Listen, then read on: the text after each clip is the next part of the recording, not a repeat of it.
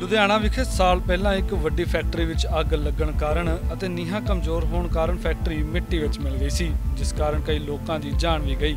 ਜਾਂਚ ਦੌਰਾਨ ਪਤਾ ਚੱਲਿਆ ਕਿ ਫੈਕਟਰੀ ਮਾਲਕ ਕੋਲ ਨਾ ਤਾਂ ਨਿਗਮ ਤੋਂ ਲਈ ਹੋਈ ਐਨਓਸੀ ਸੀ ਅਤੇ ਨਾ ਹੀ ਕੋਈ ਹੋਰ ਸੁਰੱਖਿਆ ਦੇ ਇੰਤਜ਼ਾਮ ਸਨ।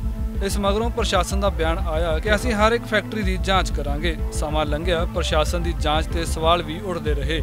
ਮੰਗਲਵਾਰ ਦੇ ਦਿਨ ਮੁੜ ਲੁਧਿਆਣਾ ਵਿਖੇ ਇੱਕ ਫੈਕਟਰੀ ਵਿੱਚ 20 ਤੋਂ ਵੱਧ ਸਾਲਾਂ ਤੋਂ ਕੰਮ ਕਰ ਰਹੇ ਮਜ਼ਦੂਰ ਦੀ ਅਚਾਨਕ ਕਰੰਟ ਲੱਗਣ ਨਾਲ ਮੌਤ ਹੋ ਗਈ। ਸਾਹਮਣੇ ਆਇਆ ਕਿ ਉਕਤ ਫੈਕਟਰੀ ਕੋਲ ਵੀ ਕੋਈ ਨਿਗਮ ਵੱਲੋਂ ਐਨਓਸੀ ਦਾ ਸਰਟੀਫਿਕੇਟ ਨਹੀਂ ਸੀ। ਮੁਹੱਲੇ ਵਿੱਚ ਵੀ ਫੈਕਟਰੀ ਚਲਾਈ ਜਾ ਰਹੀ ਸੀ। ਫਿਲਹਾਲ ਮ੍ਰਿਤਕ ਦਾ ਪਿਛੋਕੜ ਬਿਹਾਰ ਦਾ ਦੱਸਿਆ ਜਾ ਰਿਹਾ ਹੈ ਅਤੇ ਇਹ ਘਟਨਾ ਲੁਧਿਆਣਾ ਦੇ ਲੋਹਾਰਾ ਇਲਾਕੇ ਦੀ ਦੱਸੀ ਜਾ ਰਹੀ ਹੈ। बात यहाँ ड्यूटी आया तो इनको लगता रात में देखे नहीं सब करंट लगा उसी में मर गई है। जगह देखिए कितना भीड़ी जगह बना हुआ है। हैं? हमको फ़ोन किए गाँव घर पे। फ़ोन भाई के पास साथ में ही भाई का घर है। कार्रवाई की मांग करते कार्रवाई का मांग है दो दो बच्चियाँ हमारी हैं जवान पड़ी। पैंतीस छत्तीस साल यहाँ काम करते हो गया इनको। शुरू से यही काम करते आए। तब ये अपना देखे कि मेरी दो लड़कियों का शादी मेरा अभी पूरी ज़िंदगी पड़ा हुआ है।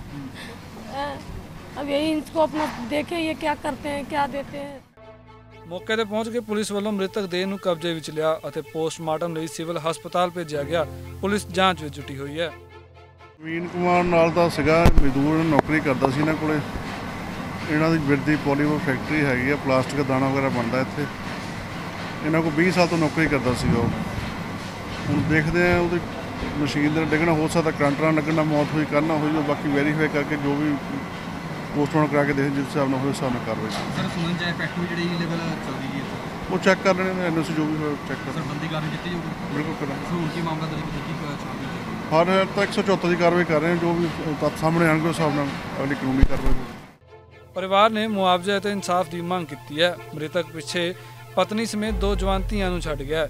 ਪਰਿਵਾਰ ਦਾ ਕਹਿਣਾ ਹੈ ਕਿ ਉਹਨਾਂ ਨੂੰ ਕੋਈ ਜਿਉਣ ਲਈ ਕੰਮ ਦਾ ਸਹਾਰਾ ਦਿੱਤਾ ਜਾਵੇ। ਲੁਧਿਆਣਾ ਤੋਂ ਤਰਸੇਮ ਭਾਰਦਵਾਜ ਦੇ ਨਾਲ bureau report, Daily Post, Punjabi.